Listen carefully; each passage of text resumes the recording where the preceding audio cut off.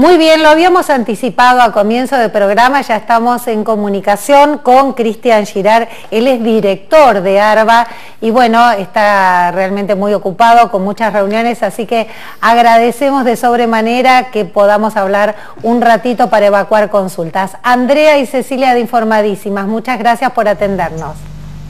Buenas tardes, Andrea, Cecilia, gracias a ustedes por interesarse. Por favor. Bueno, a ver, con algunas novedades, con algunas extensiones de plazo, Cristian, queremos conocer específicamente qué eh, decisiones se han tomado desde el área.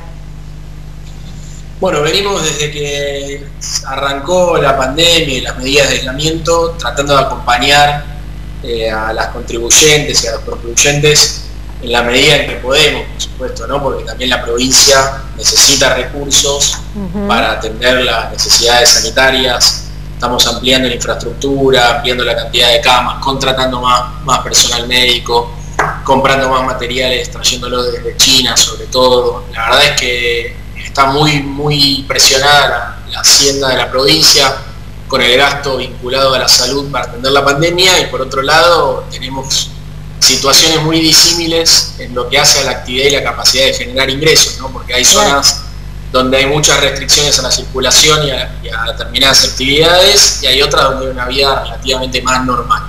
En, cuanto, en cuanto, Cristian, en fase En cuanto ha bajado hasta el momento de lo que llevamos de esta cuarentena, en cuánto ha bajado la recaudación, porque como vos bien decías, bueno, todo este dinero eh, que hay que seguir utilizando y en sobremanera para, comprar insumos y proveer cosas propias de, la pandemia. ¿En cuánto ha bajado la recaudación?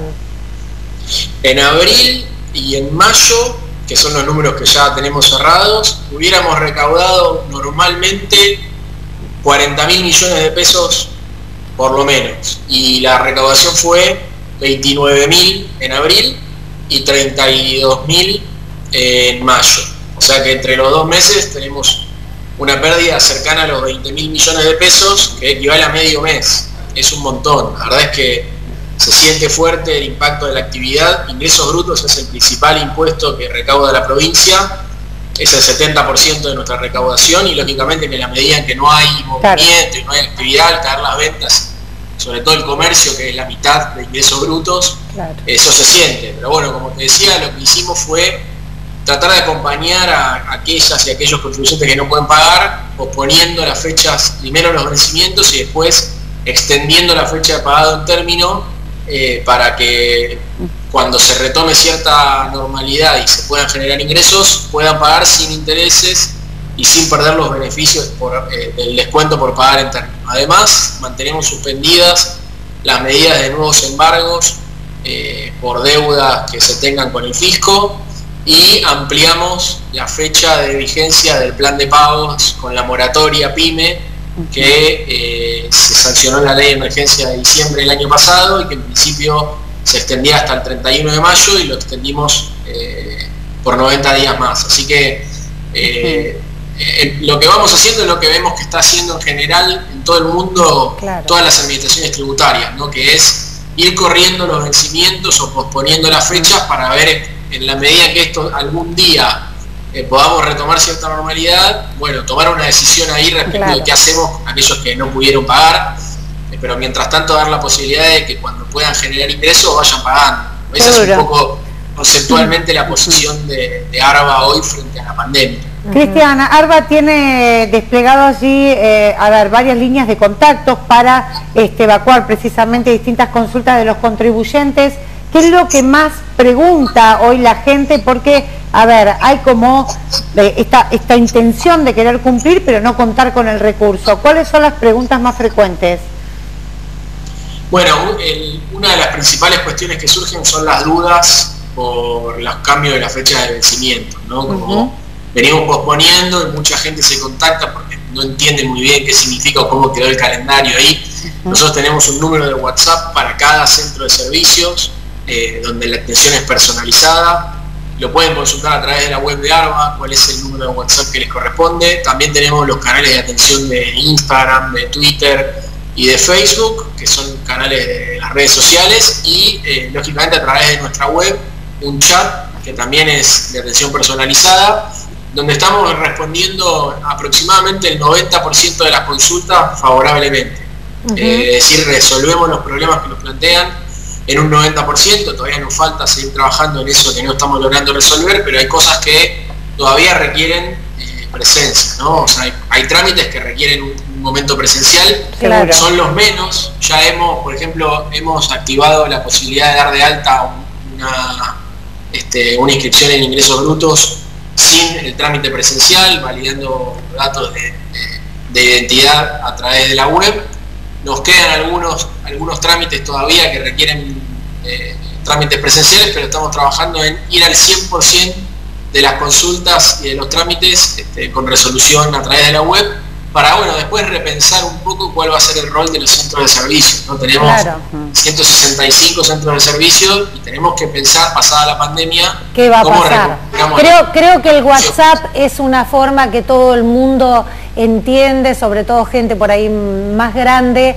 Eh, ya ver un número de WhatsApp es como que es un alivio este, poder escribir y que te respondan a través de algo que lo usa todo el mundo. Cristian, hablaba recién de, eh, de las altas. ¿Qué ha pasado con las bajas? ¿Han percibido algún rubro que, este, bueno, directamente tuvo que dar de baja esto, ingresos brutos? Bueno, salir de lo que es la, rueda económica, la rueda productiva.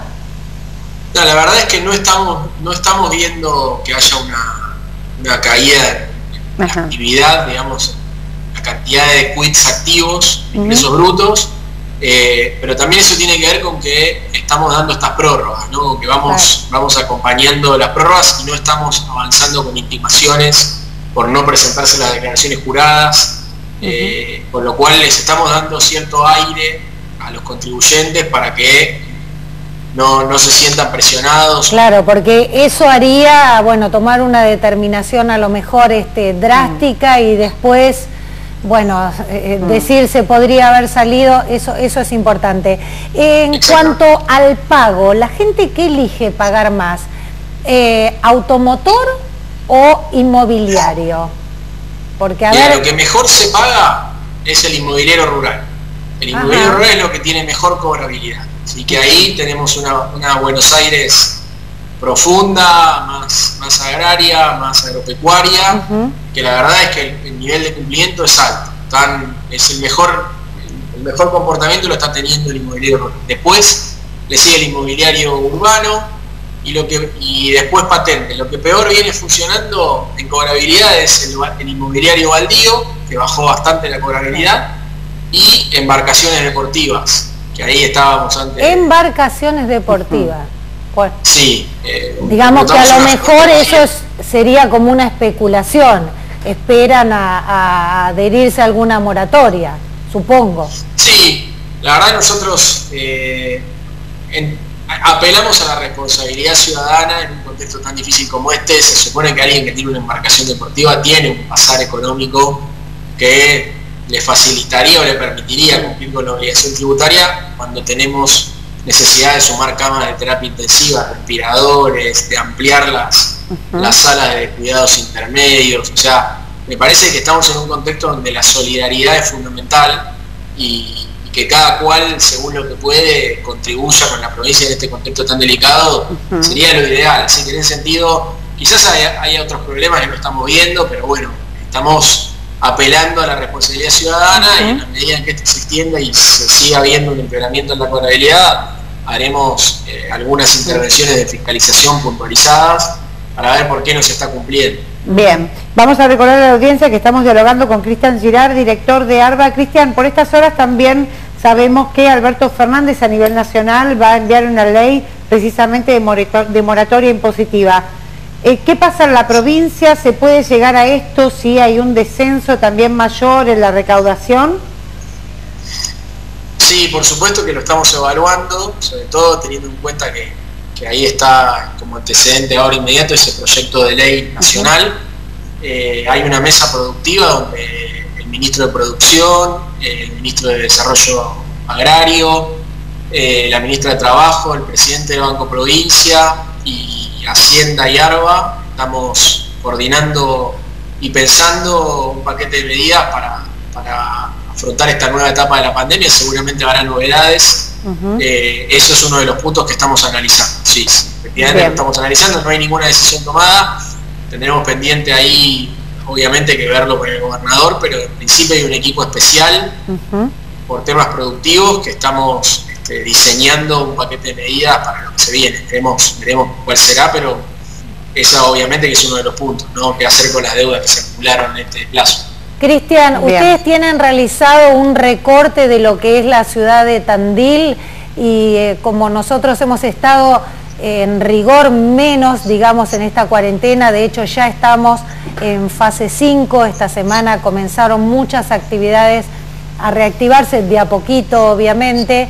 Eh, ¿Ustedes tienen hecho un recorte si el aporte este, a los impuestos ha sido mayor que en otras localidades? Sí, no te digo puntualmente Tandil, pero sí se nota, eh, porque no tengo el dato, no te quiero dar un dato, sí se nota que en la región de AMBA, o sea, el Gran Buenos Aires, eh, donde todavía estamos en fase de, mucha más restricción eh, y donde no hay tanta producción primaria, hay una caída mucho más fuerte de la recaudación que en los distritos más vinculados a la producción primaria o donde ya eh, hay una fase 4 o 5 que indica un mayor grado de circulación y por lo tanto más actividad comercial. Sí, sin lugar a dudas, el interior de lo que se denomina como mal, lo que mal se denomina como el interior de la provincia, eh, está haciendo un aporte mayor al, sostenimiento de la, recaudación que en las zonas más golpeadas por, Por, la, por la pandemia en lo que es el nivel de actividad, que son las, la, región de Gran Buenos Aires, norte y sur. Seguro. Cristian, le queremos agradecer muchísimo por esta comunicación con la radio y con el canal del ECO, a quien también ha sido muy amable. ¿eh? Muchas gracias, Andrea, Cecilia espero verlos pronto. Buena jornada, ¿eh? Y bueno, a la espera de cuando haya este, buenas noticias, si es que esto llega a salir, que nos anunciaba recién, que daba el presidente, este, bueno, lo tendremos aquí nuevamente. hablamos, hablamos recién con Cristian Girard, que es director de ARBA, eh, digamos que es el equivalente a FIP a nivel nacional, ARBA, bueno, recauda aquí en la provincia, y recordar que Alberto Fernández va a enviar un proyecto de ley precisamente para una moratoria impositiva y lo que nos adelantó es que se está trabajando con otros organismos, eh, por supuesto de la producción básicamente, para que la provincia también pueda ir por ese lado. ¿eh? Hablamos en este caso de una normativa provincial. Claro. Pero bueno, esto tiene que ver con, por supuesto, la coyuntura y la pandemia.